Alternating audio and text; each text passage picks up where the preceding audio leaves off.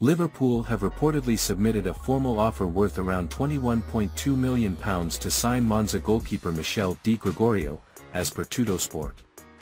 The Red Star Caoimhin Kelleher is said to be looking to leave Anfield in search of regular playing time so the Merseyside club are seemingly exploring the market to purchase a new goalkeeper with James Trafford previously mentioned as a potential option.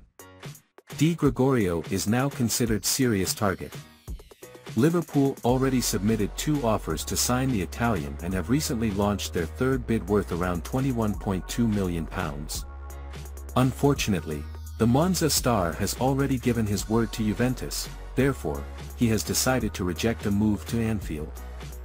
Di Gregorio enjoyed a stellar campaign last term, keeping 12 clean sheets with a 78% saving rate in 33 Serie A appearances. So, after being impressed by his recent displays, it is not surprising that the Reds moved in for the shot stopper. However, Liverpool already have Alisson at their disposal and he is going to remain their first-choice goalkeeper next season. Therefore, Di Gregorio, Liverpool have reportedly submitted a formal offer worth around £21.2 million to sign Monza goalkeeper Michel Di Gregorio, as per Tuttosport. The Red Star Caoimhin Kelleher is said to be looking to leave Anfield in search of regular playing time so the Merseyside club are seemingly exploring the market to purchase a new goalkeeper with James Trafford previously mentioned as a potential option. Di Gregorio is now considered serious target.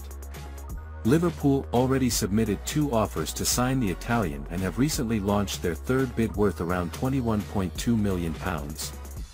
Unfortunately, the Monza star has already given his word to Juventus, therefore, he has decided to reject a move to Anfield. Di Gregorio enjoyed a stellar campaign last term, keeping 12 clean sheets with a 78% saving rate in 33 Serie A appearances. So, after being impressed by his recent displays, it is not surprising that the Reds moved in for the shot stopper. However, Liverpool already have Alisson at their disposal and he is going to remain their first choice.